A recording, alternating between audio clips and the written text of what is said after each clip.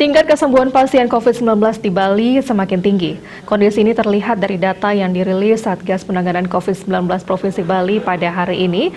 Tingkat kesembuhan pasien COVID-19 mencapai 93,8 persen. Angka ini jauh berada di atas tingkat nasional maupun global atau dunia.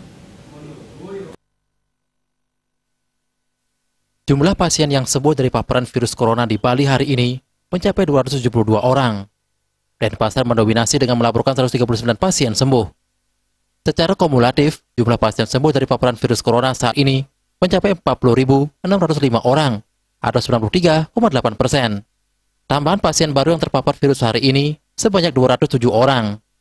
Selain dari 9 kabupaten kota di Bali, tambahan pasien juga berasal dari kabupaten lainnya sebanyak 3 orang.